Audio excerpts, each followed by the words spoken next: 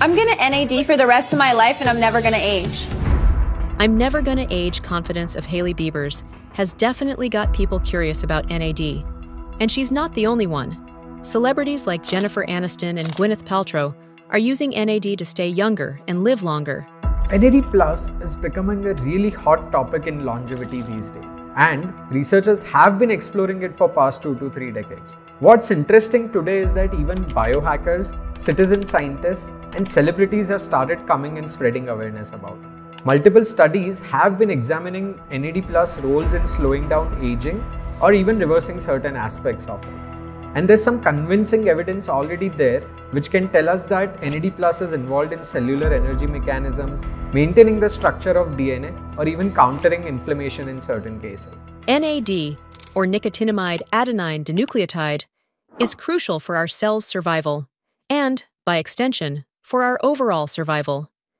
It is involved in more than 300 essential processes in our body, and its role in DNA repair, inflammation, and cellular energy production is critical for longevity.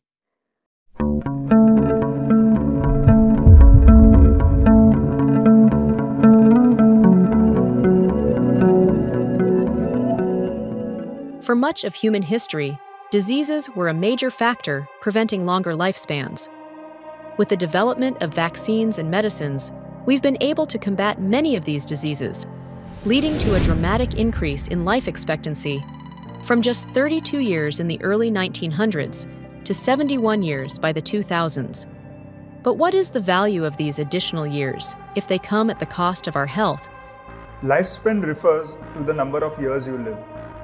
But the real focus should be on health span, the years lived in good health, free of disease and decline. The goal of entire longevity industry, seeing billions of dollars of investment today, is to increase health span. If we really crack the code of health span, could we be living at the age of 100 with the vitality of a 60 or a 70 year old? Well, that's a very interesting question. But the answer to that will only come as we progress more into this field, and that progress by far is happening very rapidly. Years of research have shown that as we age, our health span decreases because our bodies become less efficient at functioning. One of the primary reasons for this decline is the accumulation of cellular damage over time, which causes our cells to become defective. These damaged cells lose their ability to perform normal functions, contributing to the onset of various diseases. One of the leading examples of how cellular damage causes disease is dementia. We know that dementia is a disease that usually occur in extremely aged people, usually above the age of 65. So what does dementia tell us about aging? Well, if you pick up cells from the brain of a dementia patient, put it under a microscope and put it under full zoom, you will see that there's a lot of accumulated damage within the cell. And we know that for a fact that diseases like dementia, Alzheimer's, and Parkinson's have actually accumulated damaged proteins within the cells and has been identified as one of the reasons why these disease occurs. A similar kind of pathology could also be seen in rapidly aging cells, which says that most of these diseases are actually coming from aged cells or when cells age, they tend to accumulate damage and then convert into a disease. Another example of how cellular damage causes disease is diabetes. When cells in certain tissues are damaged, they become less efficient at detecting and absorbing sugar from the blood, causing glucose to build up and potentially leading to type 2 diabetes. Similarly, when an essential part of DNA is damaged and cells fail to stop dividing as they should, they can become cancerous. Returning to the issue of aging, it was once considered an inevitable process, but things took a significant turn in 2019 when the World Health Organization officially classified aging as a disease. This groundbreaking recognition has sparked a wave of scientific innovation, with researchers now focusing on directly targeting and reversing the underlying causes of aging, as well as finding cures for the diseases it causes, Multiple studies coming out of prestigious universities and labs in the recent times have started indicating that aging is a root cause to multiple chronic diseases or non-communicable diseases. The four major ones that we know of today is type 2 diabetes, cancer, Alzheimer's, Parkinson's and cardiovascular diseases. Well, if you even check the hallmarks of cancer and hallmarks of aging, there is a lot of overlap between them. which means that aging is somehow contributing to every of this disease that we know of today. Multiple laboratories have now started exploring how can we actually target the process of aging itself biologically. There are multiple animal models being used, cellular models being used, and even human systems are being used to study the biology of aging. Multiple interventions are being tried out on the processes of aging and has seen remarkable results already in the animal models where aging has been reversed or maximum lifespan has been extended in some of the species. For decades, scientists searched for ways to extend lifespan. But the breakthrough came in 1991 when MIT researcher Leonard P. Guarente discovered that sirtuin genes could extend the lifespan of yeast cells. However, it wasn't until later studies that sirtuins truly captured the spotlight. Researchers found that these genes are present in nearly all living organisms, and by 2001 and 2004, experiments demonstrated that activating sirtuins could significantly extend the lifespan of worms and fruit flies. Sirtuins, now also dubbed longevity genes, are key to extending both lifespan and health span the proteins produced by these genes can reverse and repair cellular damage, which, as we saw earlier, contributes to the aging process. These proteins repair DNA, reduce inflammation that can harm our cells, and carry out other vital processes that help maintain youthfulness. In the journey to learn more about sirtuins, scientists discovered that the proteins produced by these genes depend on NAD, that small but powerful molecule we mentioned earlier. NAD molecules act as cofactors for sirtuins. Cofactors are substances that enhance the efficiency of enzymes, making them crucial for various biological processes to occur smoothly. Well, NAD plus is kind of a raw material and a fuel for these systems of enzymes and genes which actually participate in repair mechanisms or removing the damage. Researchers have found that as we age, NAD levels decline, leading to a reduction in sirtuin production, which can contribute to the accumulation of DNA damage.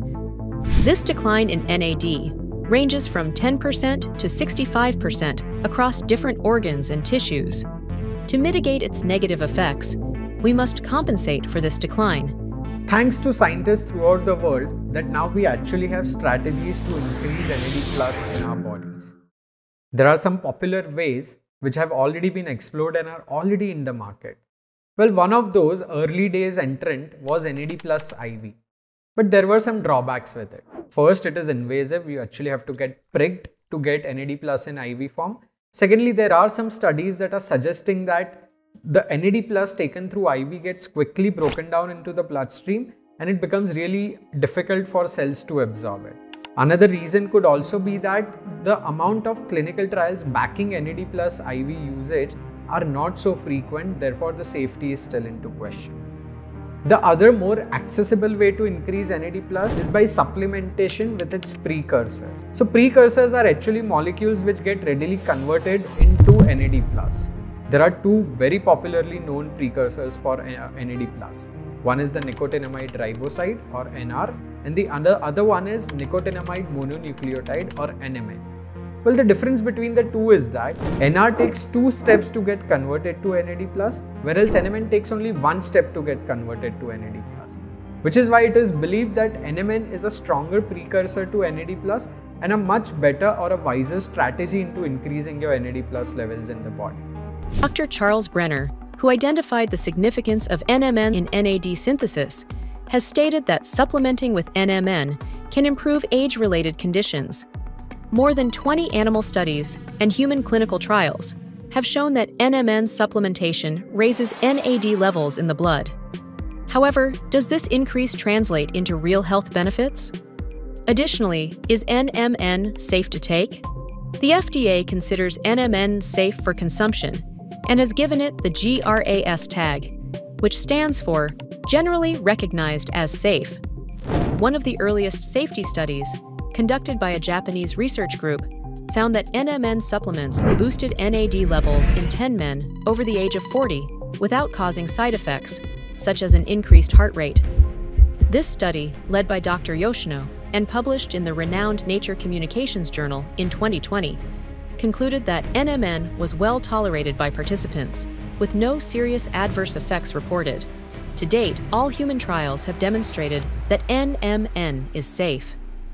If NMN is safe, then why is there a buzz about its ban by the US FDA? The US FDA banned NMN in late 2022 because it decided to reclassify it as a drug. Although NMN had been registered as a dietary supplement after the FDA recognized it as a new dietary ingredient in May 2022, the FDA required more testing when considering it as a drug to ensure its safety and effectiveness. The ban was imposed to allow for these additional tests, not because of safety concerns. In addition to its safety, NMN has shown promising benefits. A fascinating finding from Professor David Sinclair's lab revealed that NMN supplements extended the lifespan of mice, especially females, by 8.5%, given that female mice typically die earlier than males. While it will take time to study NMN's effects on human lifespan, since humans generally live longer than laboratory mice, short term studies have already shown that NMN offers benefits for healthy aging. For example, as we discussed earlier, when cells can't detect glucose, it leads to type 2 diabetes. The condition in which cells can't detect glucose is called insulin resistance, which is a precursor to diabetes. In a clinical trial involving 25 prediabetic women, 10 weeks of NMN supplementation improved insulin sensitivity by 25%, highlighting its potential as a beneficial intervention to avoid age associated onset of type 2 diabetes. Moreover, NMN has been shown to enhance endurance and physical performance, especially for the elderly population, who often experience energy loss and reduced independence. In a study involving 108 older adults, NMN improved both physical performance and sleep quality. But it's not just the elderly who benefit from NMN. Athletes and active individuals can also experience improvements in endurance, a 2021 study on young runners found that six weeks of NMN supplementation enhanced aerobic capacity, which is vital for peak performance. We were the pioneers to bring NMN in India, and it has been now three years. I've seen many individuals speaking to me, talking about their health declines or having one of the chronic disease, which has improved through supplementations of NMN and few particular supplements around longevity industry. I've been constantly communicating with doctors, nutritionists, or sports professionals who have been speaking around on game changing experience with this particular supplement And we love it when we hear from them.